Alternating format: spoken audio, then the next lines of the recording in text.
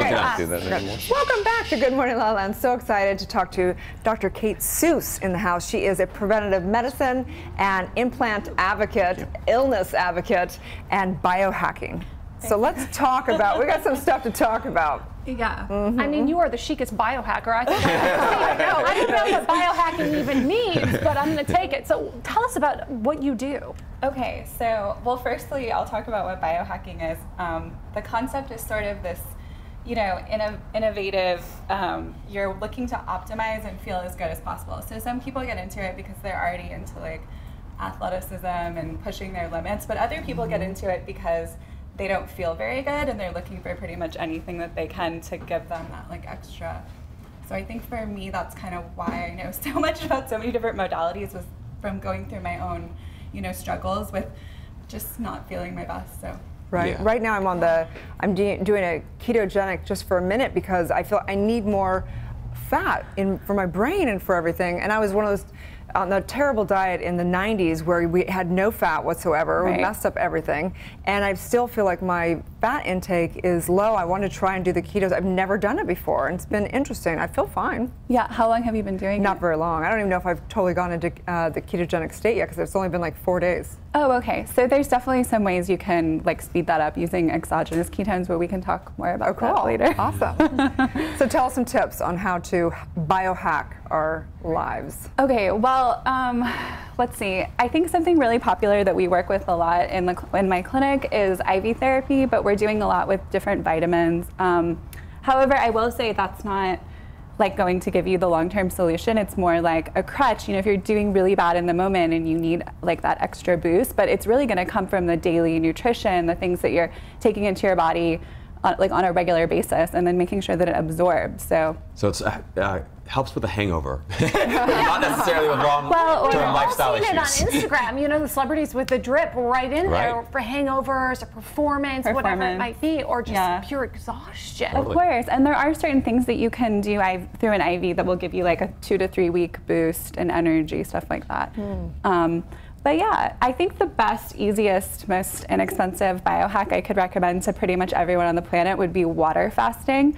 Um, research shows if you know you do a good even 24 hours, but the research is done at 48 hours of water alone, it just completely resets your entire immune system. Wow. And you know, gives your body a break so the liver and gallbladder and kidneys can clean themselves. You it's know, they're very not dangerous though. My father's a naturopath and he talked about water fasting. He said it's one of the most gnarly things and that mm-hmm. people will go into um, there, that's like a there's a name for it, I can't remember. But basically, they get a, a place where they just get so sick because they have so many toxins. And so in the water fast is like very extreme. So the, if you are suffering from chronic illness and you have a lot going on, um, I would recommend doing a supervised water fast in their facilities. Like there's a great one in NorCal where they do that, where they're monitoring you. They have a full staff. Um, you're right, it can be very intense, but mm-hmm. you know, it's the same thing if those people who have all those toxins, like you mentioned, when they do these commercial detox blends where they're taking in, you know, um, like herbs and, and different um, amino acids that, that push detox, they can have the same mm-hmm. thing happen.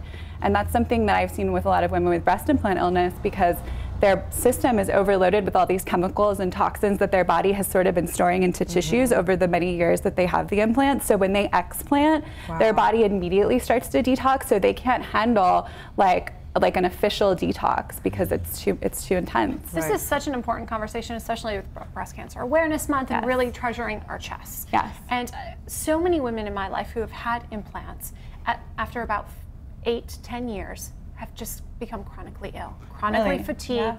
They're not feeling right, and their intuition is saying something is wrong here. Right. Mm. Yeah. Well, but a lot of doctors aren't even listening to that. Yes. And they're being told they're crazy. Yes.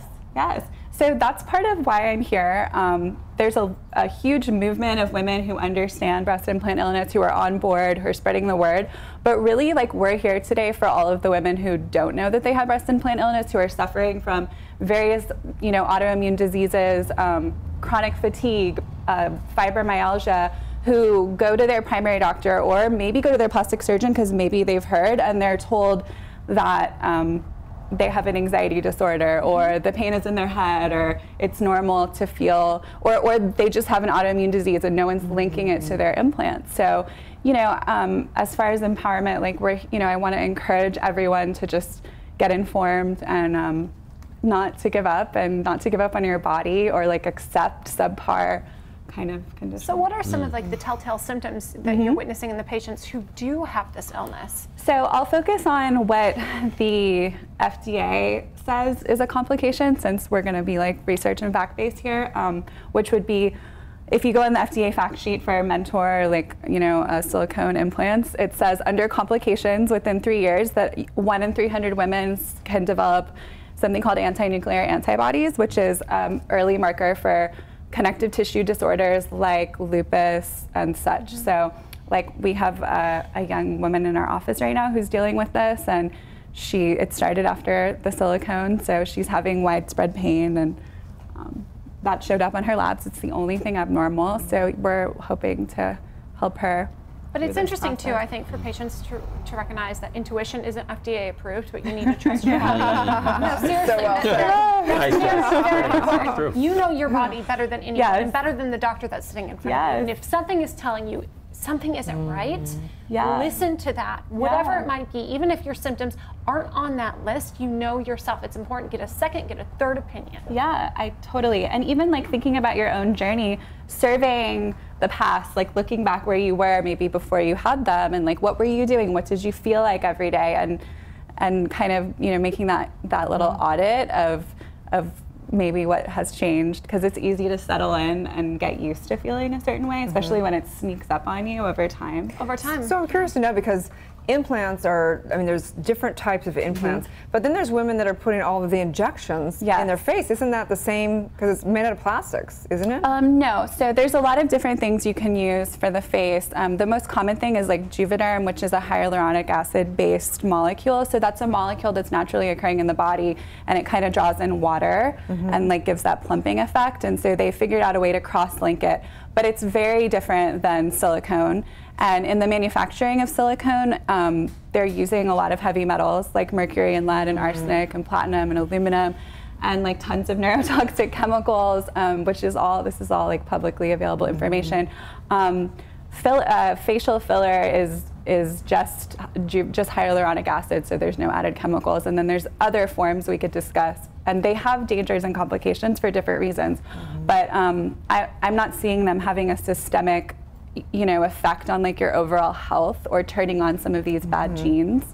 Interesting. Interesting yeah. because fillers are typically what's already naturally occurring in your body. It's just almost like putting them on steroids, right? Yeah, yeah, of course. It's like a controlled effect for sure. Maybe not the Botox. That's a whole other conversation. So that would be another conversation. yeah. um, but again, Botox is administered locally. Um, it can have effect on the liver. So if you are having dysfunction, I'm not going to like recommend. But you know, there's a lot of uses for Botox that like don't get talked about. Like we have a patient who ha- uses them to control rec- uses it to control rectal spasms that she suffered after getting a mesh inserted in her body, mm-hmm. um, which basically adhesed and caused the nerves to entrap, and so she has no control over that without Botox.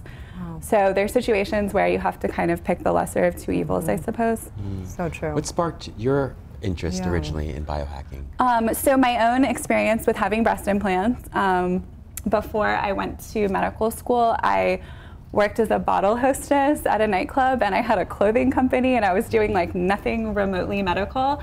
And then I got breast implants and about nine months later I was having like systemic pain and like fatigue and neurological symptoms and like a tremor, which I still haven't been able to get rid of, wow. um, which I'm way too young for. Um, yeah, and there wasn't a lot of solutions. So I just decided to kind of go my own path and figure it yeah. out.